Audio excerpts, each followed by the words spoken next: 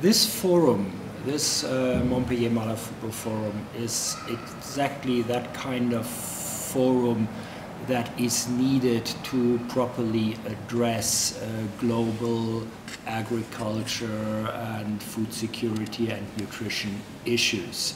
Um, again, this background, uh, BMZ, together with uh, UK's uh, DFID and the African Development Bank, uh, time ago uh, decided to uh, really actively support this forum. This provides in particular a great opportunity to discuss, to discuss issues around agriculture, food security on the African continent.